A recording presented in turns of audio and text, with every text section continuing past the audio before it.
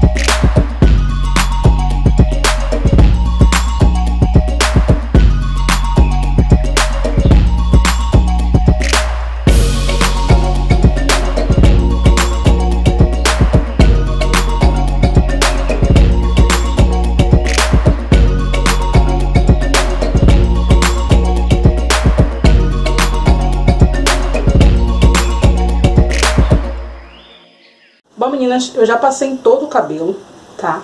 E eu troquei de pente, porque esse pente mais fino que eu tava usando, que vocês viram aí no passo a passo, ele acabou ferindo a minha cabeça.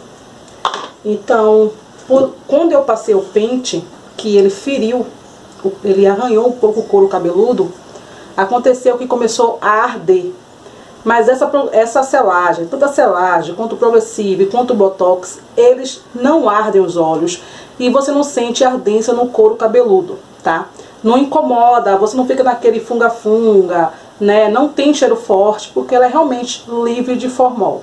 Mas o que alisa nela é o blend de aminoácidos, tá certo?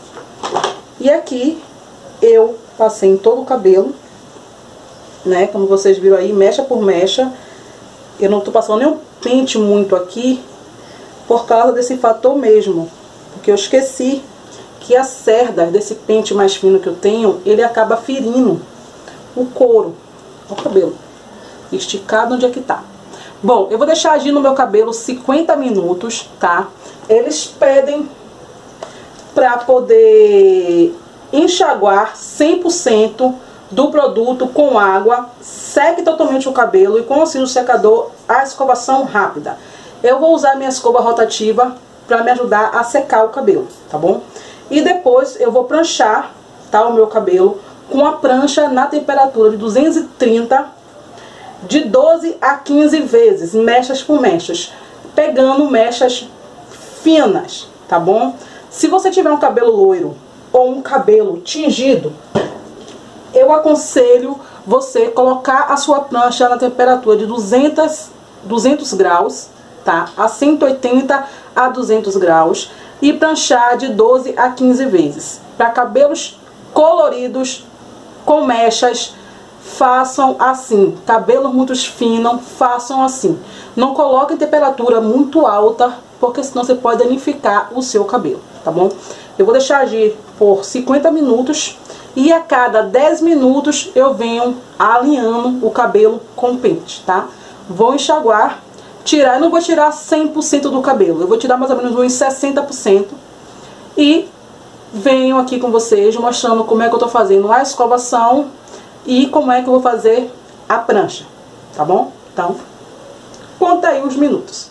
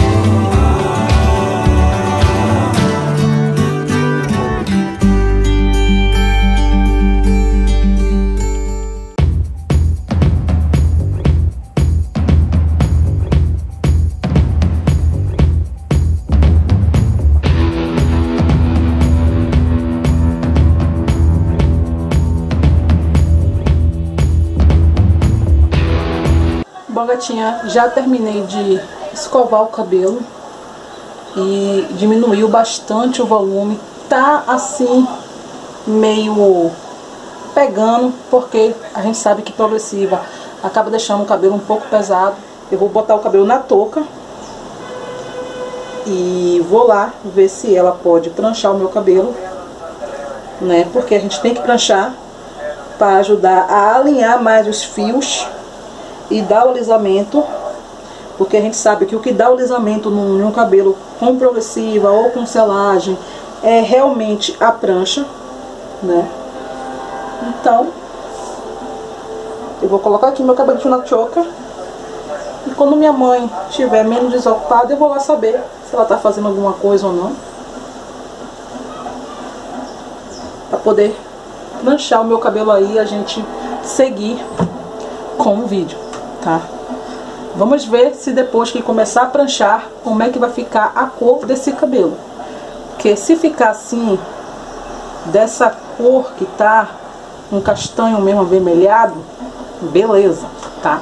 Eu não vou me preocupar tanto de querer pintar o cabelo e espero aí uns 15 dias para poder usar a tinta Natucur. Mas se caso a chapinha desbotar bastante os meus fios, Aí essa semana eu vou ter que pintar o cabelo. Então vamos lá ver o que Mames está fazendo.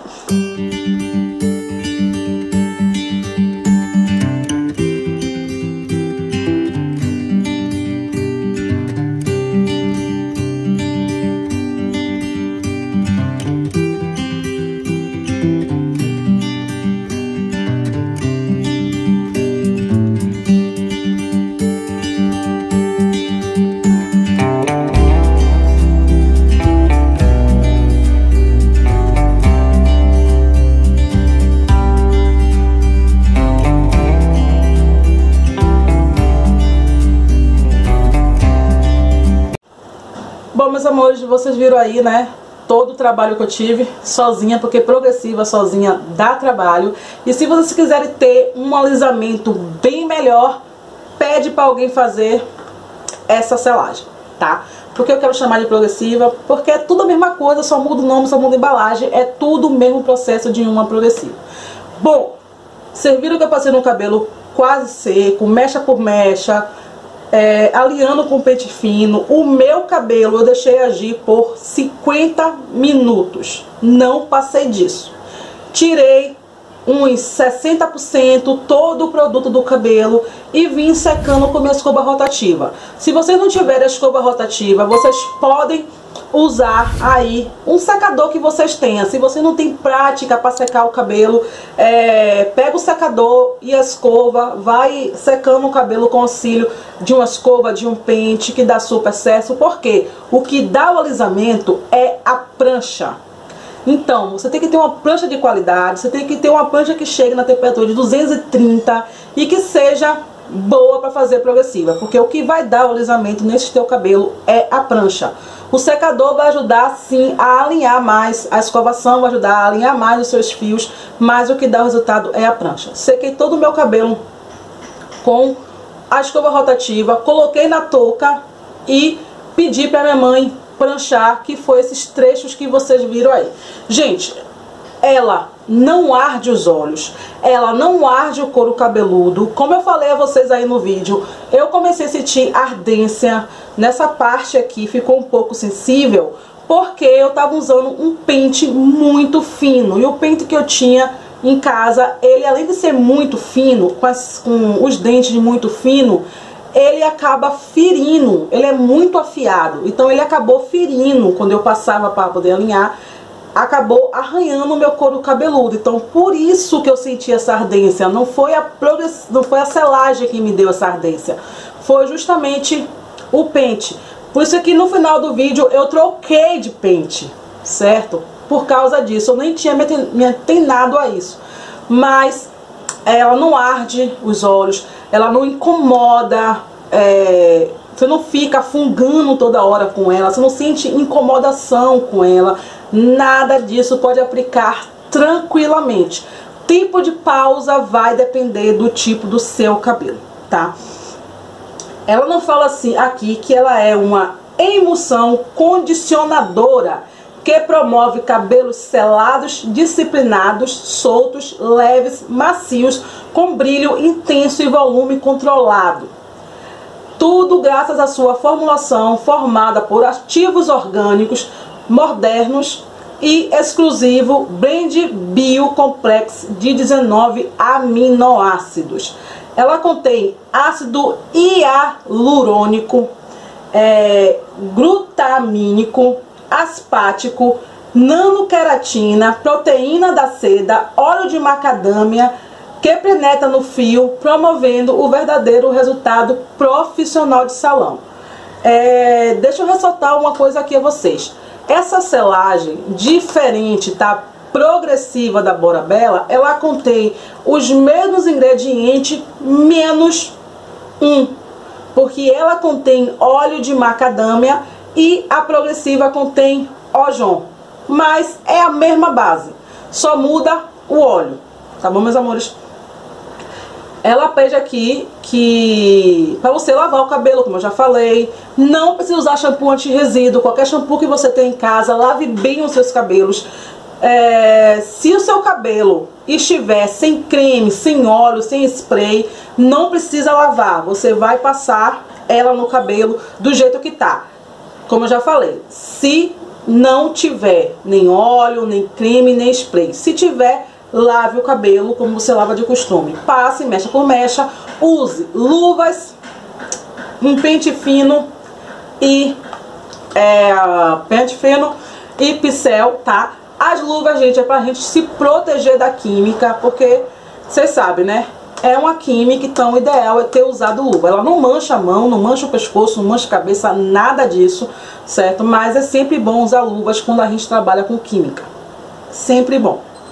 É, deixe agir por 50 minutos em cabelos ondulados ou finos e até 90 minutos em cabelos grossos e cacheados. Cabelos difíceis e afros indicados, o produto não chore mais. É, a minha colega do salão, a Bárbara, testou em um cabelo afro, né, um cabelo mais resistente que o meu, e deu super certo. Ela conseguiu diminuir bastante o volume, ela conseguiu é, disciplinar bastante. Eu ainda não tive oportunidade de testar em um cabelo mais resistente ainda, mas depois que passar essa pandemia, essa quarentena, a gente corre atrás de modelo aí para poder testar esta bagaça em um cabelo mais resistente. Ela fala que ela é para todos os tipos de cores, certo? E se você tiver um cabelo fino, um cabelo colorido, um cabelo descolorido, eu aconselho vocês usarem a prancha em 200 graus, de 180 a 200 graus. Ah, Lili, mas aí não vai alisar. Alisa assim. Se você tem um cabelo resistente, um cabelo preto. O meu não desbotou tanto assim. Ainda bem que eu fiquei com medo. Deu uma leve desbotada, mas o meu cabelo já estava assim, é, aqueles reflexos já avermelhados, né? Então, como o meu cabelo é mais resistente, eu prancho o meu cabelo a 230 graus, tá? Um cabelo fino, um cabelo colorido, um cabelo descolorido, um cabelo com luzes, eu prancho esse cabelo em 200 graus prancho de 10 a 15 vezes, mechas finas, mechas transparentes. Você vai trabalhar aquela mecha com toda a calma do mundo, que sim, ela vai alisar. Um cabelo mais resistente, é, prancha temperatura 230, tá? E vai pranchar de 10 a 15 vezes. Gente, não precisa você pranchar esse cabelo mais de 50 vezes. É só pranchar o certinho, bonitinho, ter sua técnica, ter uma prancha boa. Porque se você ficar pranchando um fio de cabelo, uma mecha bem fininha, transparente, 50 vezes, você vai acabar oxidando este cabelo e vai acabar danificando. É o que vai acontecer com os seus fios, tá?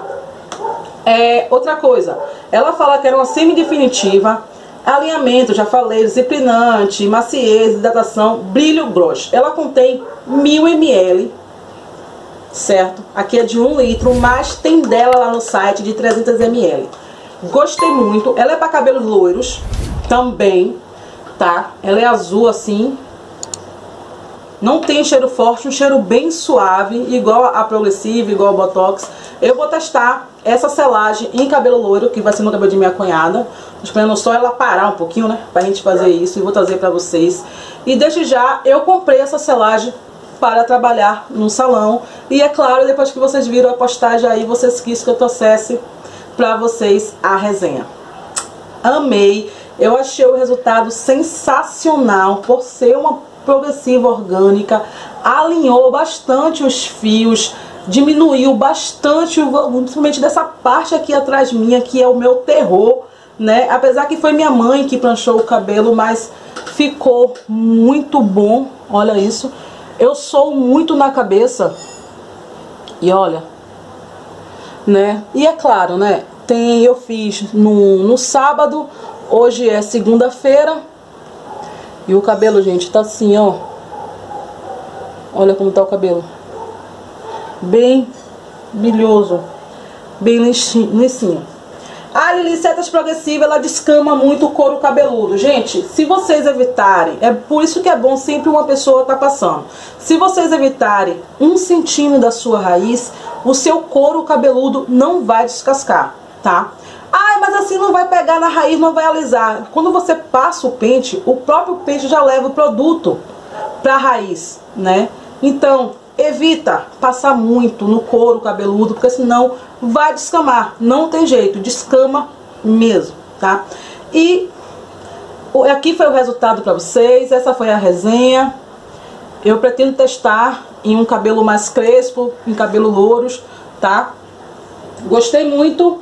E como eu falei, vocês encontram essa selagem no site da Dot Cosméticos. Não vende em loja física, você não acha, pelo menos em Salvador. Eu procurei toda Salvador e não achei, tá? Essa da Bora Bela. Então o único site confiável foi realmente o da Dot Cosméticos. E ela sozinha tá custando 119 nessa faixa aí, tá? Não é muito cara não, 119. E pra aqui, pra Salvador, vocês têm o um desconto no frete. Eu vou comprar até mais coisa pela, do, pela DOT, tá? Então é isso aí, a resenha, espero que tenham gostado de mais um vídeo. Pena que não deu pra eu gravar como é que tava o meu cabelo antes, mas aí no vídeo, na parte do passo a passo, vocês já viram a diferença, como é que ficou o, o cabelo para que, pra que tá agora. Eu vou tentar virar pra vocês no final do vídeo, pra mostrar. Olha. Tá vendo?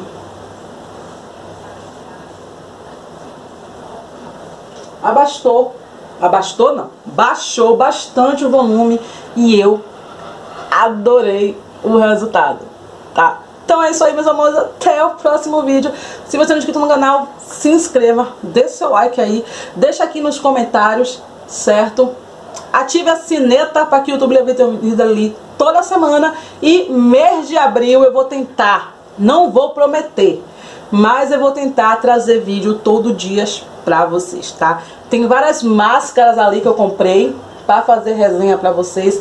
Inclusive a da Elserve que é o, acho que é o meu sonho longo, um negócio desse, né? Que eu vou comprar o shampoo e o condicionador para testar os dois juntos, os três aliás, shampoo, condicionador e máscara. Então vai ter resenha para vocês, vai ter algumas receitinhas caseiras que eu vou trazer para vocês, tá? E a gente vai ver se consegue fazer 30 dias de vídeo aí tá? Aguenta, pai. Quarentena, então aguenta a Lili. Lili tá em casa, tá trabalhando por causa da quarentena, fazer o quê? Né? Da nossa saúde. E cuide da sua hashtag. Se você não precisa sair, fique em casa. Se você precisa ir trabalhar, vá. Mas se cuida, tá bom? Então é isso aí. Um beijo, um cheiro, fique com Deus. Bye, bye, que eu fui. Tchau.